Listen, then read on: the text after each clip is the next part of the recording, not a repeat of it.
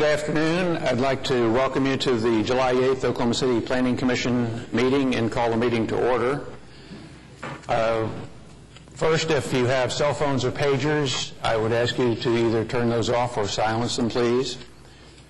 Most of you are familiar faces to us, but if you are not the applicant and you have come to speak to us on a case today, if you would uh, sign one of these little sheets They're available on the table outside the chambers, give them to our secretary, we would be happy to hear you. And with that, we'll go to approval of the June 24th minutes. There are no additions or changes. I will move approval. We have a motion and a second to approve the minutes. Cast your votes, and they're approved. And continuance request, Russell. We have one uncontested request for continuance, which is item 17, PUD 1416, a request to defer until August the 12th. Did anyone come to talk to us about that item today? I move to continue item number 17. Second. A motion and a second to continue item 17. Cast your votes, and that's approved.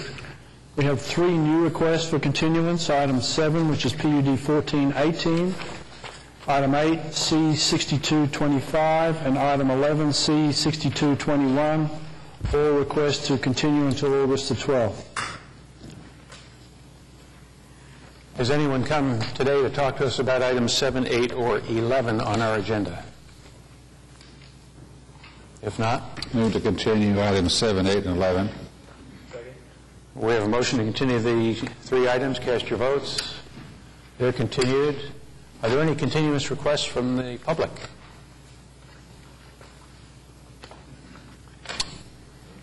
There are none?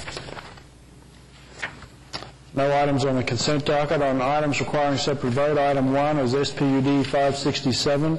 It's an application by Danny Gassett to rezone 7601 West Hefner Road from PUD 884 to SPUD 567 in Ward 8. If you give us your name and address, please. Sure. Dan Gassett, uh, 4253 Hunt Drive in Carrollton, Texas. Uh, Good afternoon. I'm coming back uh, before your planning commission to uh, indicate from the old SPUD to the new that uh, we have, uh, are complying with all the TEs. We have changed uh, the lots from 11 to 10. We've reduced the curb cuts from four to two on Stony Creek Drive. Uh, Also going from a public uh, road request to a private, and we have increased the parking from 69 to 91 uh, spaces, which uh, is in compliance with the, uh, I believe, Article 59 or something to that effect. Commissioners, that addresses at least many of the points that we made two weeks ago. No one has signed up. Any discussion or questions? Mr. Chairman, I believe it addresses our concerns. Uh, I will just have one quick question. Uh, You will be platting these as you develop them, is that correct?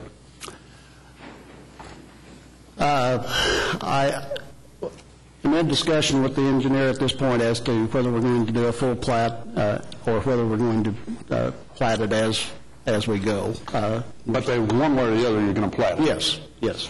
Okay. I move approval of the application. Second. Okay, we have a motion and second to approve item one. Cast your votes. And that's approved. Thank you. Thank you very much.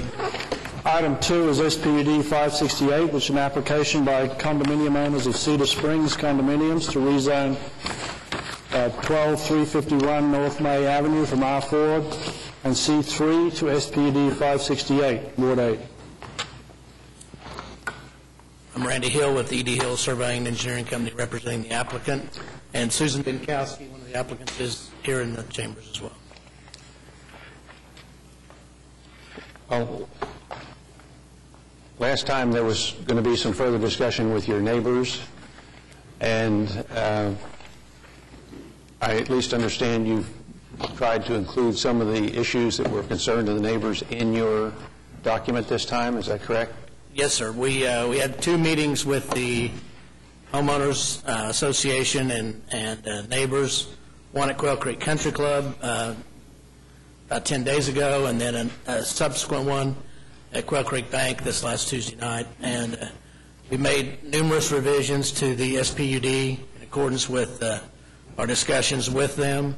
We filed those with the city staff, and uh, we're all in accordance, I believe, with the, uh, with the neighbors, and I think they're, they also believe that this is the best for the neighborhood, this revised, uh, this SPUD, because what we're really trying to do is to uh, make it possible for more owner-occupied units in this uh, condominium complex. So that's the whole idea of it. And uh,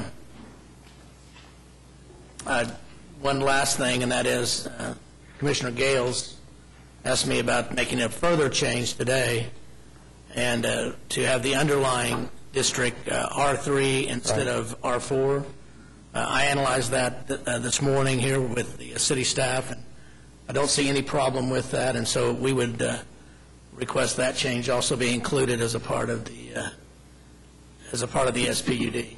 Okay. Nick, anything else uh, with respect to this? No, we would have that discussion, and uh, as he indicated, that that works for them. Uh, So I'd move approval of the application uh, with the amendment to uh, underlying R3 zoning.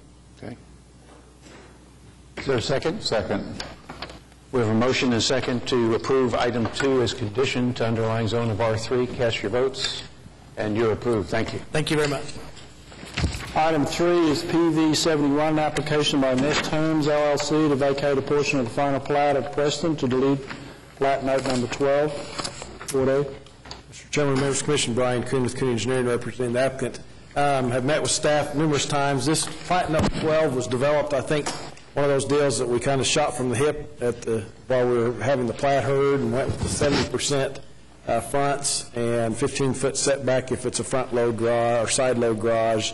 Uh, We were operating under a previous PUD, which we can't even do the 15-foot because there's a 20-foot uh, utility easement in the front. Staff is having a hard time keeping up with building permits on 70%. So it kind of, it wasn't a request by them, but when we brought it to them, they said that'd be great, because that, there's no way we can monitor that. We will be utilizing the new, uh, I don't know if it's a policy right now, whatever it was, we came up with our five lot different options. So we'll be utilizing that. We won't be using the 15-foot, obviously, because we have a 20-foot uh, UE. So staff was happy with getting rid of this note, because it was just too hard to try to keep up with. And you have the requisite signatures now, Brian? Yes. Okay. No one signed up? Move approval of the application. Second. Okay, we have a motion and second to approve item three. Cast your votes. Thank you. You're approved. Item four is C 6226, which is the final plat of the Grove South, Phase 1 in Ward A.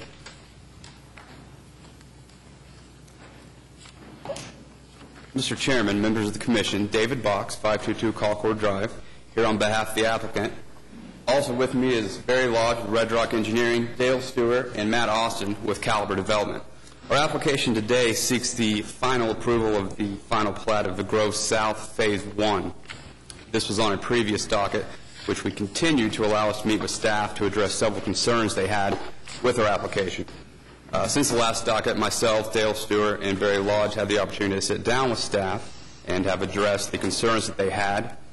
The staff has recommended approval subject to seven TEs. We are in agreement with the TEs and to seek your approval.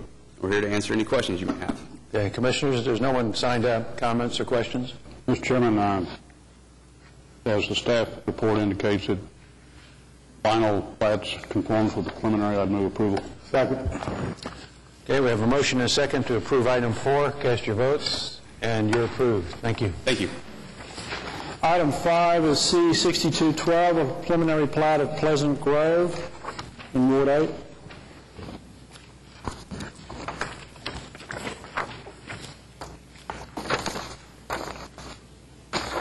Good afternoon. I'm Kendall Dillon with Crafton Tull Sparks, representing the applicant. And um, since the uh, previous meeting that this application was continued, um, the uh, rezoning application has been heard by the city council, at which it was approved and is in place today. Um, Since then, we have- have well have updated and revised the preliminary plat after we heard a few of you all's concerns, so we have resubmitted that. And I will point out that uh, your staff report, the body of your report is correct as per the updated plat. However, the layout map in the back of your staff report, I believe, is, is the old layout. So I've given you, that's what I passed out, is the most updated and current layout, and I think that we also on the screen have the, uh, the new layout there as well. And just to real briefly highlight a couple of the uh, things that we've revised in regards to the plat, if you'll notice 141st Street as well as, and uh, Northwest 140th Street, previously were two cul-de-sacs back to the west, but we went ahead and connected those streets up to kind of reduce the number of cul-de-sacs and to increase that connectivity that I know is important to you all. So we've done that, and obviously we've left only two cul-de-sacs remaining in the addition. We've also, and it, it, on the particular scale we're looking at, it's kind of hard to see, but what we have done is we took the, the north four streets, and we have included, a, they're long and they're kind of gentle, but we've included curves in those streets. Um, I won't oversell that, but they do have about a 15-foot offset, so that we think that aesthetically and some other things, if you line up down the road, it'll, it'll improve the aesthetics of it and- and the view coming down the street and help break those things up. Um, Likewise, our previous plat, we had, there was some ambiguity in relation to portions of the common area that were recreational versus drainage, so we kind of uh, revise those on the plat to kind of give you a better understanding of what we're dealing with. And then also you have another exhibit there in, the- on the second sheet that kind of better defines those areas so that you can see what's going on there. Um, So those are a few of the changes. Once again, the zoning's in place. We're in complete compliance with your zoning ordinance, asking for no variances. We're in agreement with all of the TEs, and uh, we'd ask for your approval. Again, Commissioners, no one has signed up. I move approval of the application. Janice, you have a Well, I've got a I I do. question. Since you didn't oversell it, I don't want to over nitpick, but um, do you have the sense really that that this um, much of an offset is going to make a difference visually? Oh, yeah. I do think it will make some difference. I don't think, and we don't have quite uh, enough space to add a, a more exaggerated curve in there. So to answer your question, I think it's somewhere between optimally what I'd like to get in there and, probably not having any effect on it at all. So I do think that by adding the curve, even though on a scale this size that it's, it's kind of hard to see, I do think it will help break that up a little bit, yes. I find that in some sort of backhanded way kind of encouraging. I'll, I'll be interested to see how it looks when it's built out. In the idea that we have had when we were dealing with this issue, I think, you know, just mentally, you sort of go to a more exaggerated um, curve. But it, it would be very encouraging to find that um, a minimal amount of offset could make a visual impact. I'd, I'd like to think that's true. Okay. Like I say, when we build this one, we can use it as a test case, I guess. Bob, you had something? I do. Uh, I like it that you eliminated two cul-de-sacs. That was good for the revised plan. But have you given consideration, maybe I misunderstood or didn't hear, uh, for what Mr. Coons just referred to, the garage front committee work and the offsets and the, you know, have you, is this going to be straight garage fronts with a tree planted in front? What we were doing in regards to your policy is, once again, and understanding the impact of the curves, but we have, from your policy, put curves in the street. We would agree to moving the trees that we've agreed to, to the right-of-way, given that the utility department permits us to do that. We talked about And then the third thing that, once again, we're not, it's not a final design, so some of these things are a little bit difficult at this point, but one of the things that's discussed in your policy is grade change as well. In this particular site, as you go to the west, it does tend to fall off a decent amount. So I would suspect that we're going to be able to get some elevation change as we go back to west to kind of add to the overall um, attempts at mitigating, you know, your concern. So if you look at it, I do think that we've included three options and considerations in regard to your policy. So that's kind of what our attempt is in regards to, to meeting that and addressing that issue. And the, and the, you know, like Janice was talking, but the, there's a barely discernible curve. you've, you've just got a bare curve that, I mean, you know, if you have an optical, it's going to be a straight line. And to have garage fronts coming out with this dense of a development, it really will be a, one of these unattractive developments with a dead tree in the front because nobody waters it. The encouragement is, is to really look at that policy about the setbacks and uh, because you really do have a ton of issues here. With a small curb, that's not going to do it. I love the idea of street trees. You know, if you could do that between the curb and the sidewalk. And we've talked about this at that appearance committee, whether or not the, the, the Public Works or Water, you know, you need to get with them about where that stuff is, because there was approval on that from them to do street trees. That serves to enhance this neighborhood dramatically if you can do that. But really, the setbacks, the different things you can do, I can't, I can't say that I'm going to vote against this because you comply with the subdivision regulations, but we also worked hard on that policy for garage fronts, and we appreciate giving as much consideration to that with a subdivision development like this. It, it really will make it a much better place that you can produce for the benefit of the city. So that's my comment. Any other discussion or comments, Commissioners? No one signed up.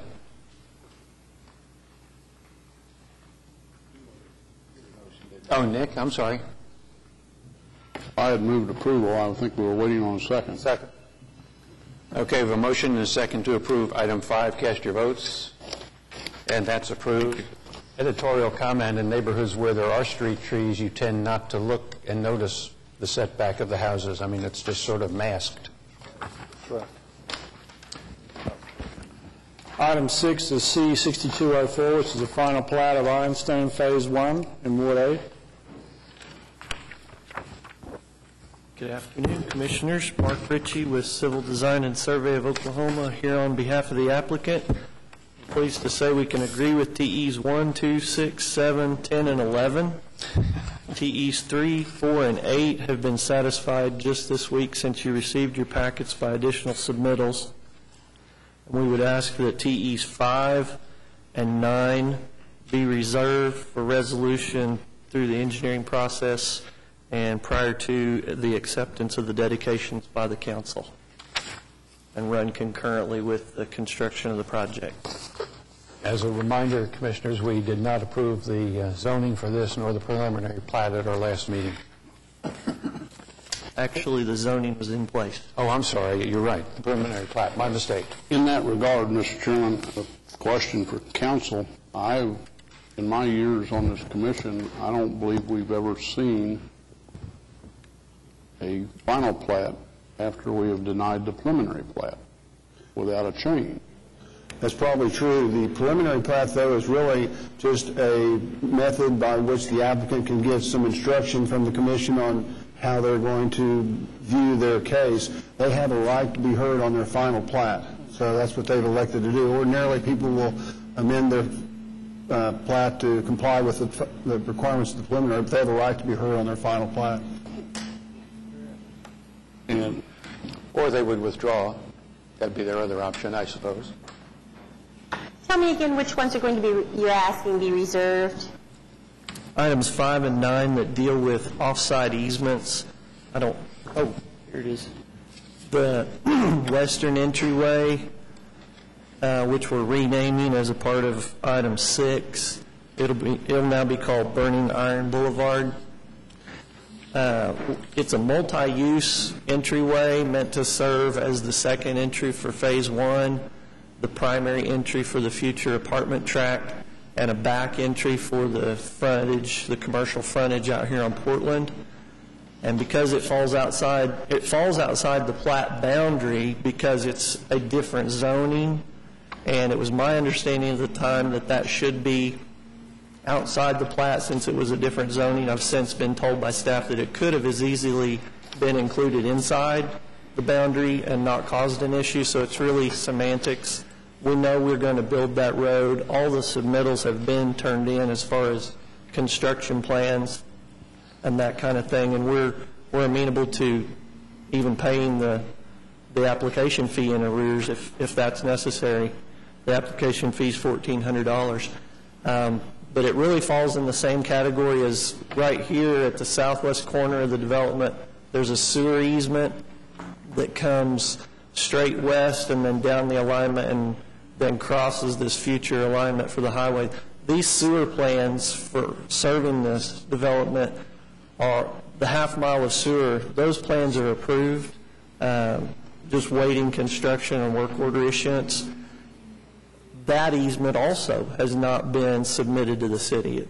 It's customary for these offsite easements to just happen during construction, be granted, dedicated, filed of record, and then we check the box before we go to city council, and we don't get to build, we don't get to build building permits or anything until those easements are in place and the utilities, or in this case, the roadway, are- roadways are built and final inspected. So those are the two that we were asking to just reserve for future resolution. Nick? you- Um, I thought you had something. If there are no, Well, we do have someone signed up. uh, okay. Mr. Fudge?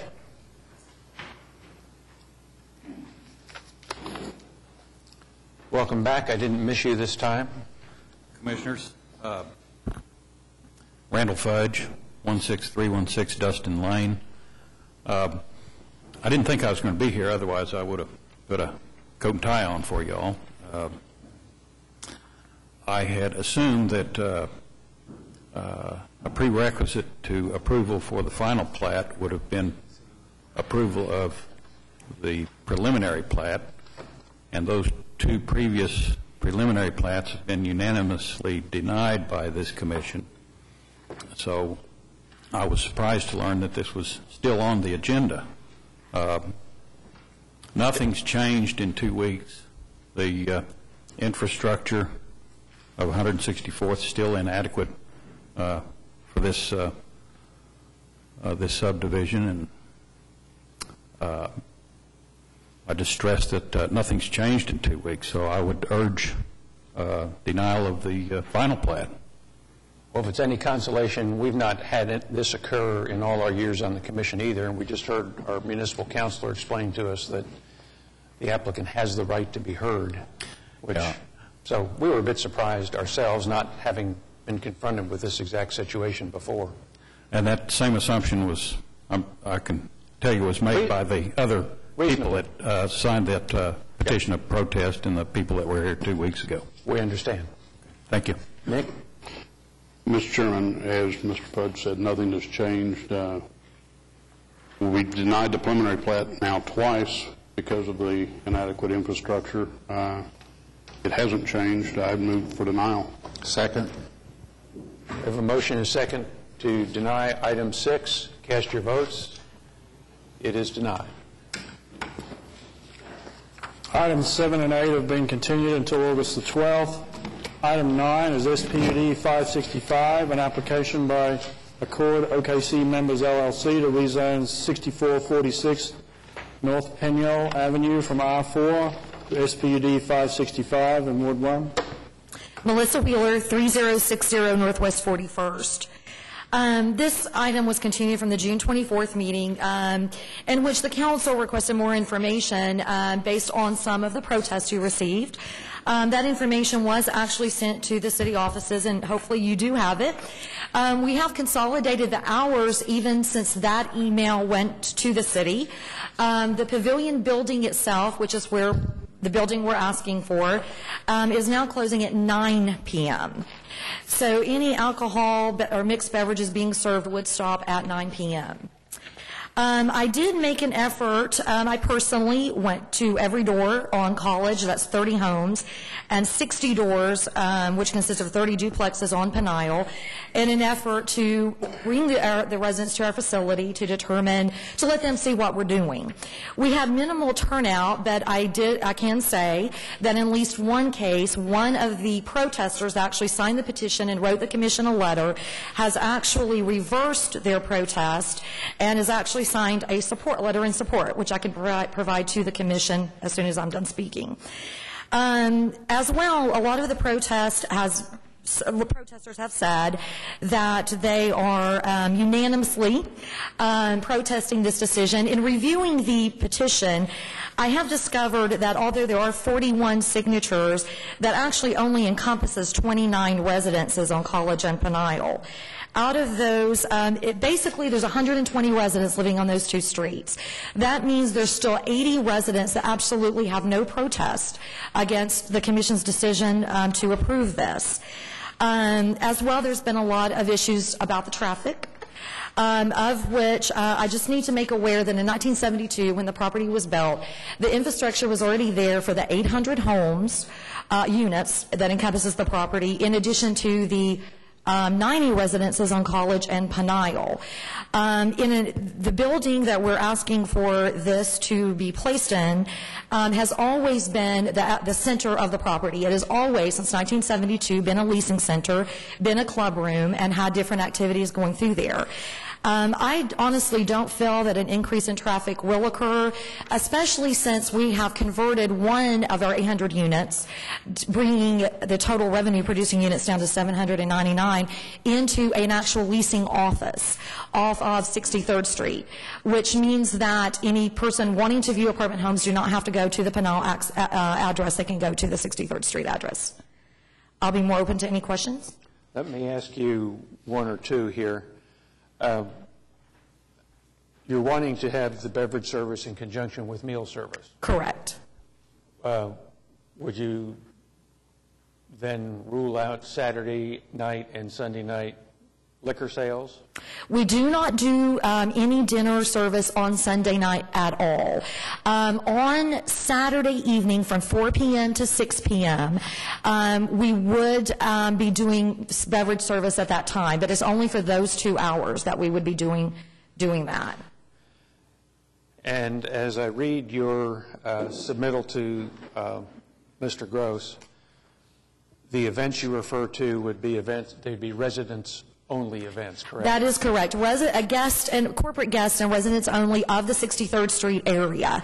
Um, you know, currently when we have an event, as with any other apartment community, the residents are allowed to bring their own beverages with them. I completely feel that with us having the power to oversee the beverage sales, that it would actually contain any problems that may currently exist. Um, Obviously, we will have a licensed bartender, licensed through the ABLE Commission.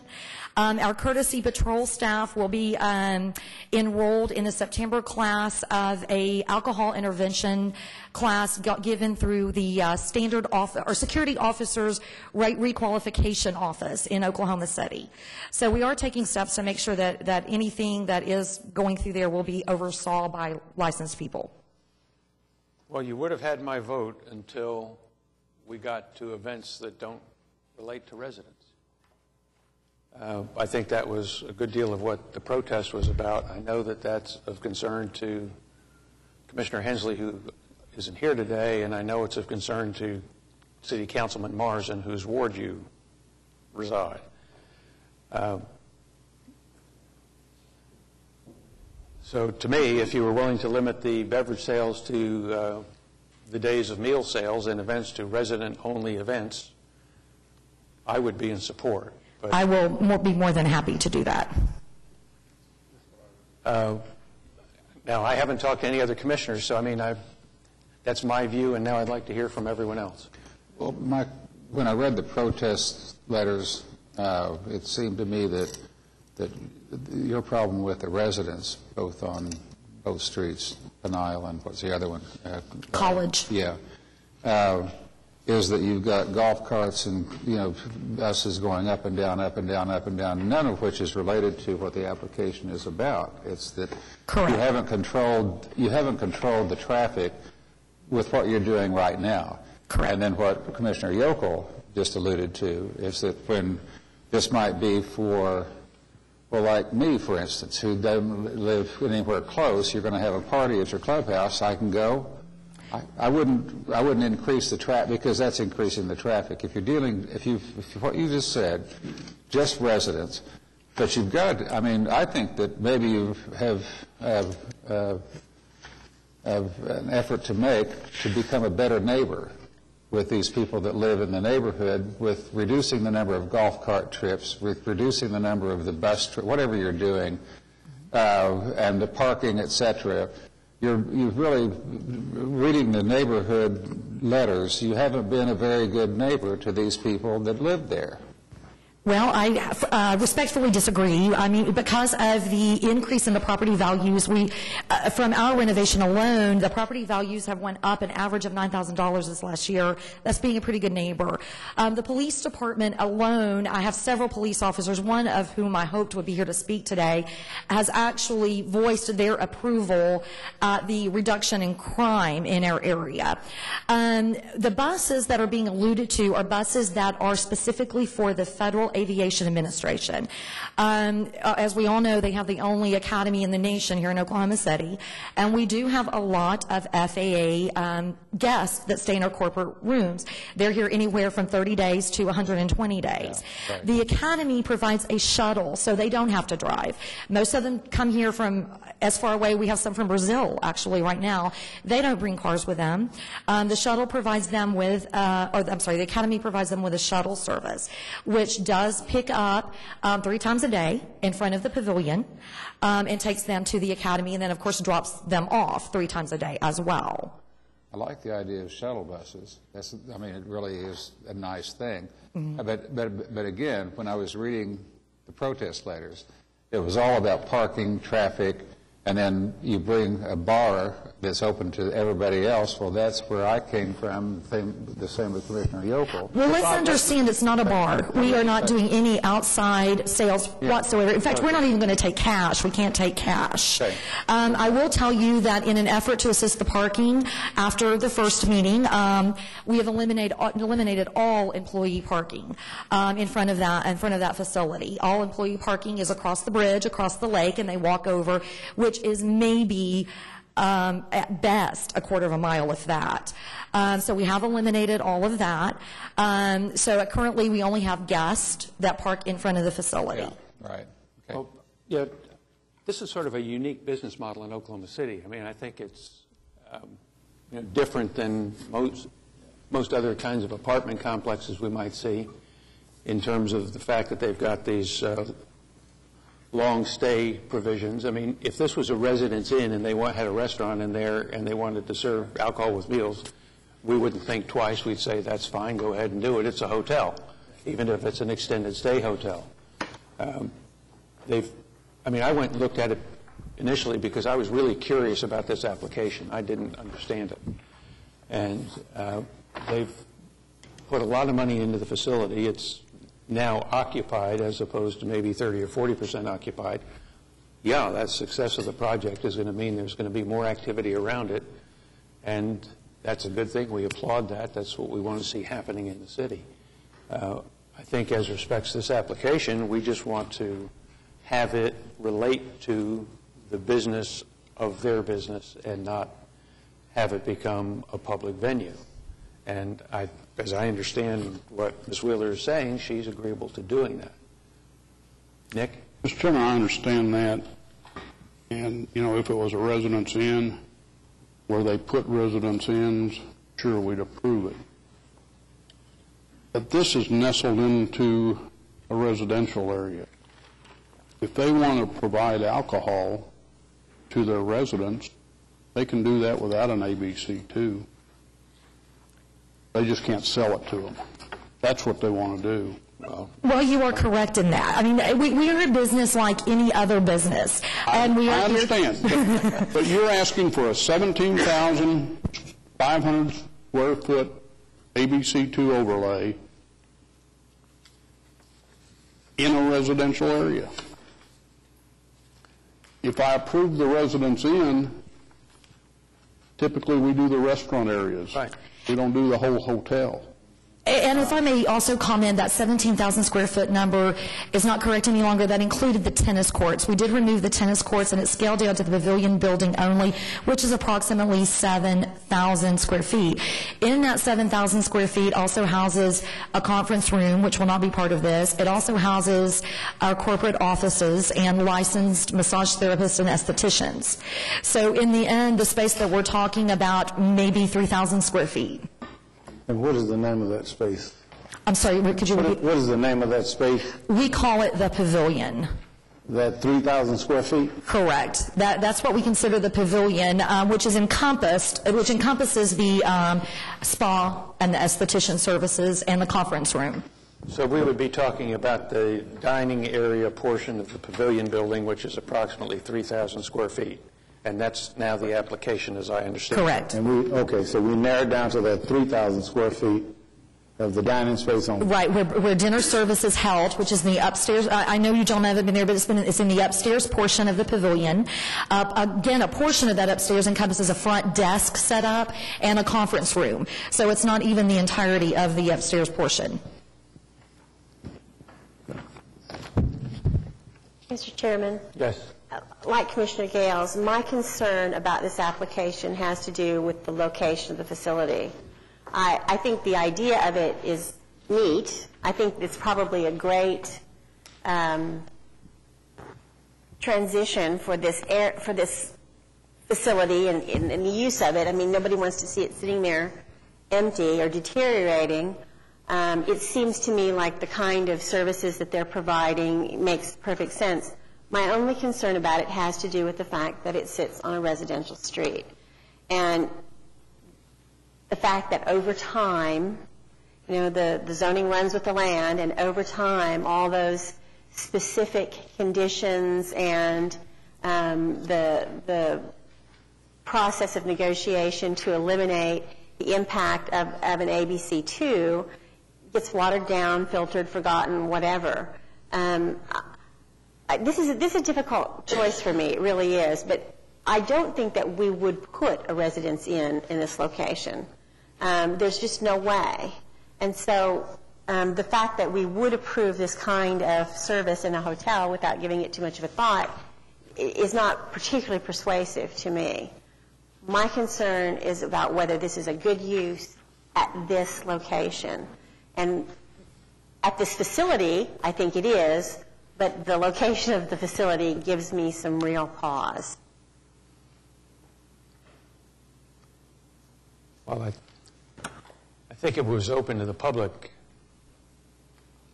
I would, I've obviously said I wouldn't be the least bit interested in supporting it.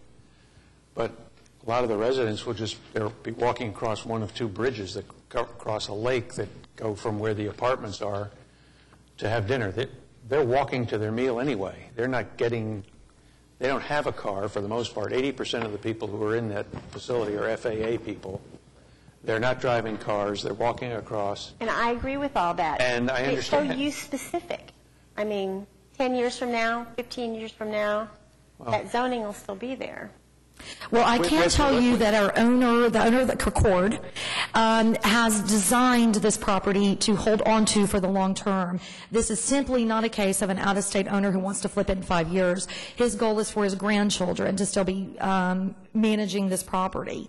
Um, he, he's made it's, he's made such an impact on that area that he's actually currently pursuing other um, neglected, uh, severely neglected properties in the area as well um, to try to turn them around.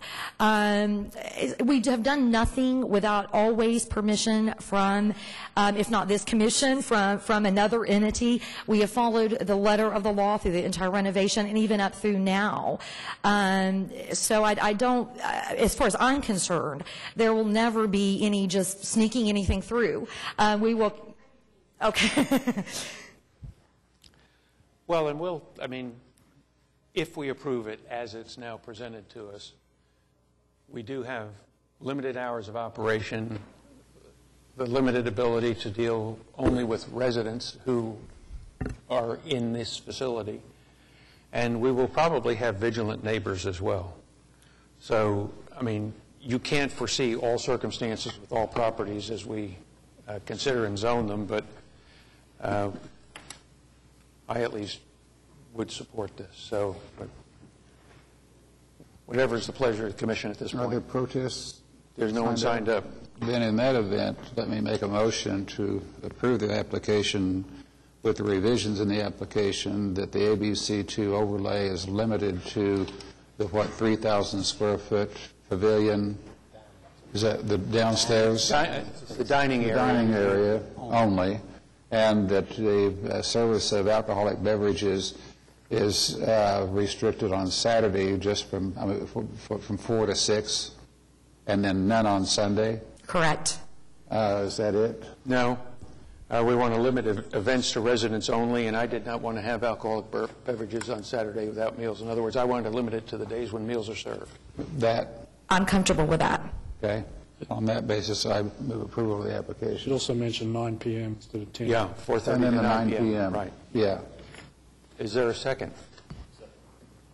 Okay, we have a motion and a second to approve item, lost what my item number now, nine, Nine. as conditioned. Cast your votes. It is approved. Thank you. Item 10 is ABC 717, an application by David Dunn for an ABC 2 overlaying C3 Community Commercial at 8139 Northwest 10th Street in Ward 1. Uh, Thank you. Uh, I'm David Dunn, uh, 1124 North Markwell. Uh, We were here two weeks ago, and uh, uh, at this point, I don't believe there's any protest. Uh, I've met with the Friends of Northwest 10th Street. Uh, I've had uh, a letter sent in by the House of Kawasaki, which is the largest dealership, uh, the largest business up on our street. Uh, We, I had an unsolicited uh, uh, letter sent in by 40 uh, homeowners in the area uh, supporting it, and uh, if if you guys have any questions, I'd be happy to try to answer. Okay? No, no one has signed up, Commissioners.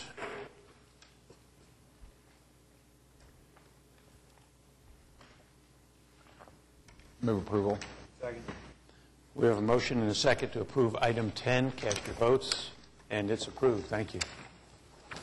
Thank you. Item 11 has been continued until August the 12th. Item 12 is an application by Please and Geraldine Dye to rezone 3700 South Eastern from R1 Single Family to I2 Moderate Industrial in Ward 7.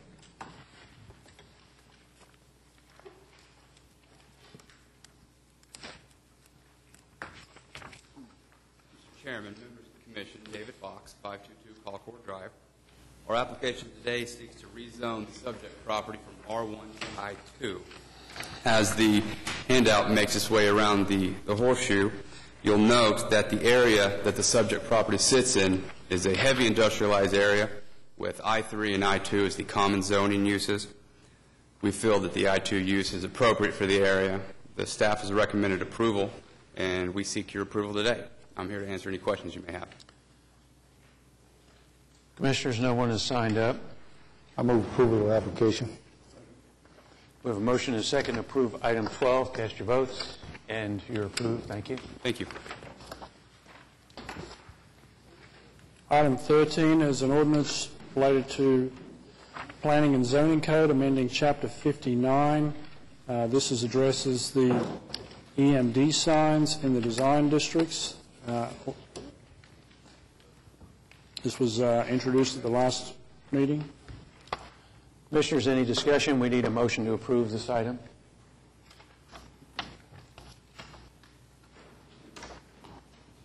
Motion to approve. Second. We have a motion and a second to approve item 13. Cast your votes, and it is approved. Like- Likewise, we need a motion to approve item 14. Russell, go ahead, I'm sorry. No, no. Item item 14 is uh, another ordinance that relates to signs. This is signs uh, in the downtown district, and this is also, uh, this amends Chapter 3 of the code. I'll move approval. Second. Okay, we have a motion and second to approve item 14. Cast your votes. Item approved. Item 15 is to uh, set for hearing an ordinance related to zoning and planning, um, amending uh, Chapter 59 of the code. This concerns discretionary review procedures. And we need a motion to introduce and set for hearing in August. I move to introduce and set. Second. Okay, we have a motion and second to approve item 15. Cast your votes. That's approved. Item 16 is uh, consideration of the airport strategic development program, and the request is to be received by the planning commission.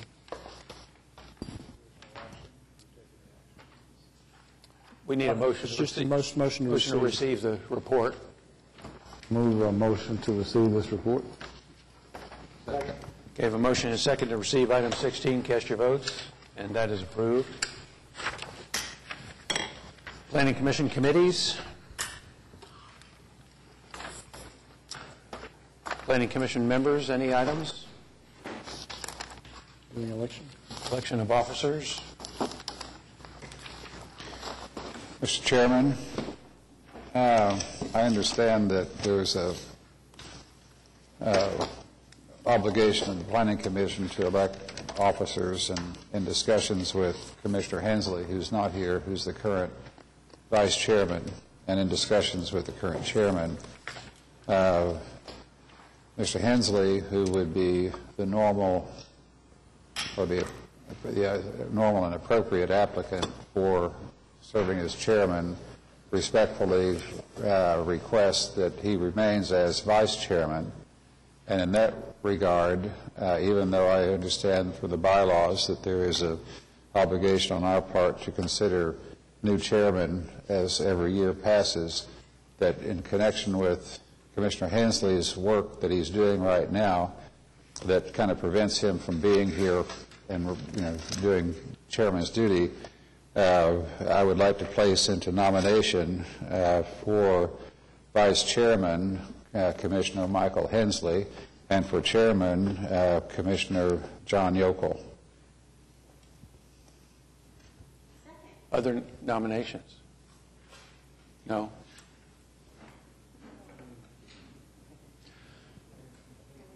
Do we need a motion to uh, waive the bylaws first?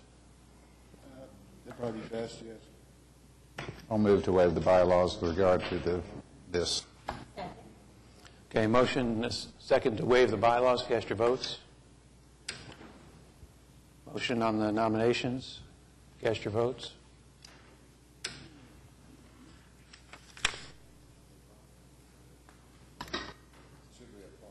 No, no, no.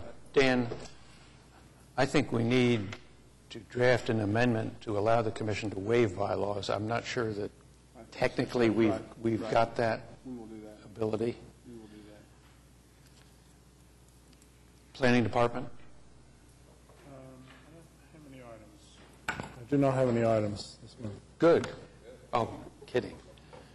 Uh, Development Services, JJ? Dan? Citizens to be heard in the back? Thank you for being here. Other business? Motion to adjourn? And that's approved. We're adjourned.